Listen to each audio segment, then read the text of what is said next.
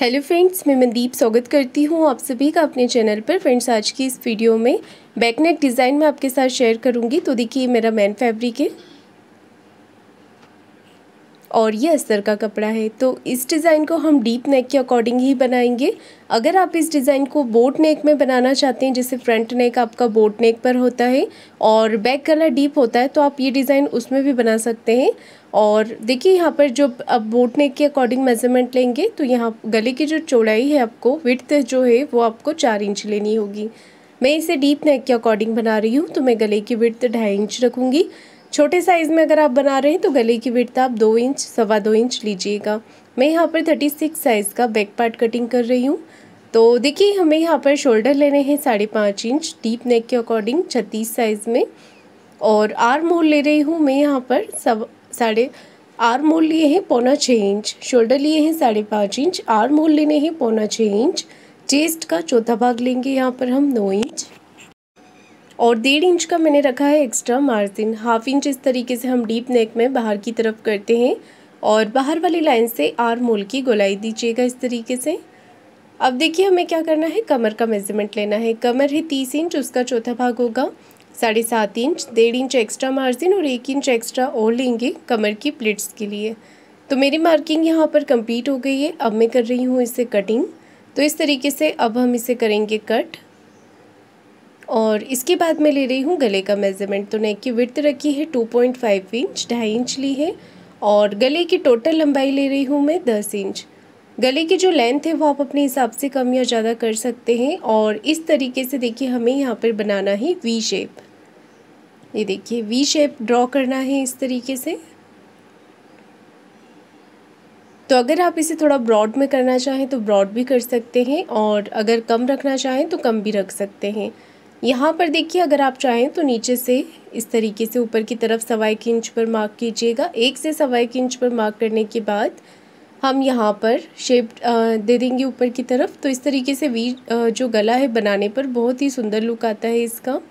और यहाँ से भी हमने इसे कट कर दिया है। साइड से इस तरीके से छाट लेना है कमर की तरफ़ से भी आपको तो ये बिल्कुल बराबर से बैठ जाएगा। पैटर्न को हमने यहाँ पर कट कर लिया है गले के, और ये मेरा मैन फैब्रिक है। मैन फैब्रिक पर रखकर भी हम इसे कट कर लेंगे। मैन फैब्रिक को साइड से थोड़ा सा बढ़ाकर ही आप कट करें, ताकि इसे जोड़ते समय कोई भी परेशानी इसमें ना आए।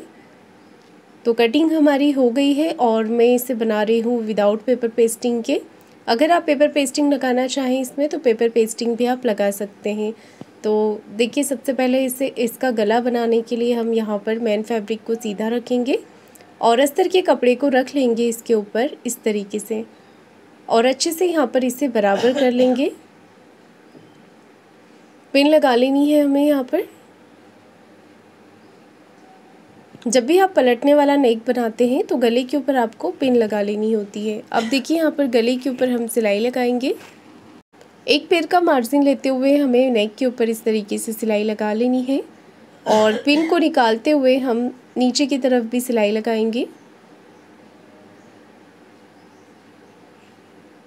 ये देखिए, इस तरीके से नीचे कमर की तरफ़ भी मैंने सिलाई लगा ली है और इसका जो एक्स्ट्रा कपड़ा निकल रहा है नीचे से, वो हमने कटिंग करके निकाल देना है। अब हम पूरे ही नेक के ऊपर छोटे छोटे कट लगाएँगे। तो इस तरीके से हमने कट लगा लेने हैं यहाँ पर। अब देखिए हमें क्या करना है, पूरे ही नेक पर छोटे छोटे कट इस तरीके से लगा लेंगे और नीचे कमर की तरफ़ भी। जो कॉर्नर्स है, वहाँ पर हम कट अच्छे से लगाएँगे। अब इसे पलट कर हमें सीधा करना है तो इस तरीके से अब हम इसे पलट के सीधा कर लेंगे। और सारे ही कपड़े को अच्छे से बाहर की तरफ़ निकाल लेंगे। ये देखिए, हाथ से हमें यहाँ पर फिनिशिंग कर देनी है। कपड़े को बाहर की तरफ़ निकाल लेना है। और अब इसके ऊपर हम सिलाई लगा लेंगे।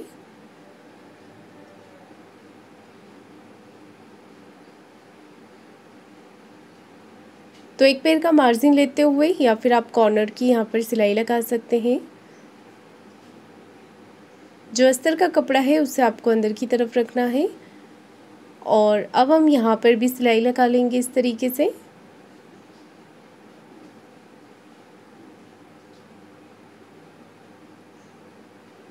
ये देखिए, सिलाई लगा कर देख, मैंने इसे कंप्लीट कर दिया है और इसके बाद हम इसका एक्स्ट्रा कपड़ा जो है वो कट करके निकाल देंगे। साइड से हमें सिलाई लगा लेनी है।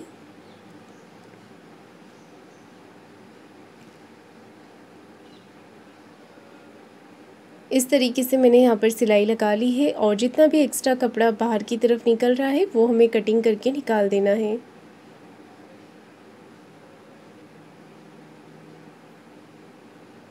ये देखिए, मैंने इसे कटिंग करके निकाल दिया है और इसके बाद अब मैं यहाँ पर तैयार करूँगी डिज़ाइन तो डिज़ाइन बनाने के लिए हम यहाँ पर एक बो रेडी करेंगे। उसे आपको, उसके उससे कटिंग करने के लिए आपको इसे ट्रायंगल में फ़ोल्ड करना है और इस तरीके से इसकी कटिंग कर देनी है। तो बिल्कुल राउंड सर्कल पर मैंने इसे कट किया है और अब हम एक पेड़ का मार्जिन लेते हुए यहाँ पर इसे मैन फैब्रिक के साथ सिलाई लगाएँगे। तो पूरा आपको राउंड सर्कल में सिलाई लगा देनी है।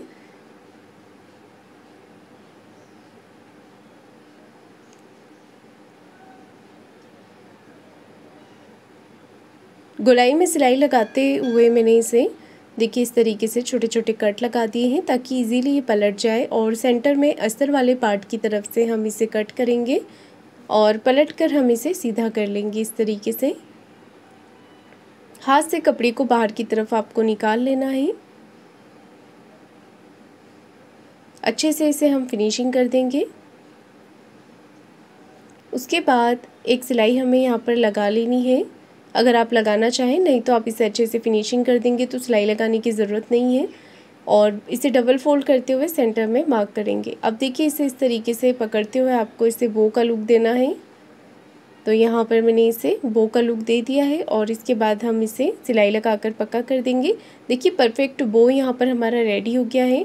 अब मैंने लेस ली है, जो मैं नेक के ऊपर लगाऊँगी, वही लेस को मैंने यहाँ पर इसे इस तरीके से सेंटर में अटैच कर दिया है और अब इसे पक्का कर देंगे हम। कट कर देना है एक्स्ट्रा लेस को। इसके बाद यही लेस मैं नेक के ऊपर लगा रही हूँ। अगर आप चाहें तो इसे सिंपल भी रख सकते हैं या फिर आप इसे लेस लगा कर डेकोरेट कर सकते हैं। तो इस तरीके से लेस लगाने से जो इसका लुक है, वो और भी अच्छा आ जाएगा।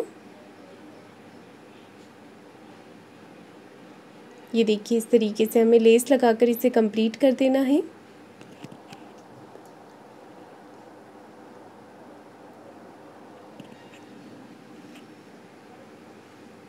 लेस के दो, दोनों कॉर्नर पर हमें सिलाई लगा लेनी है।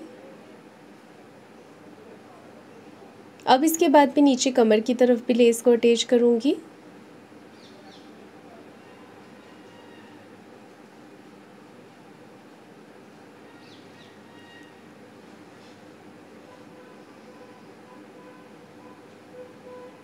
लेस के दूसरे कॉर्नर पर भी हमें सिलाई लगा लेनी है।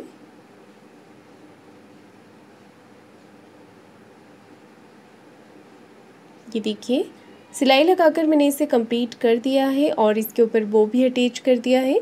तो ब्लाउज़ डिज़ाइन हमारा बन के रेडी हो गया है। फ्रेंड्स, आपको आज का ये वीडियो कैसा लगा है, मुझे कमेंट करके ज़रूर बताइएगा।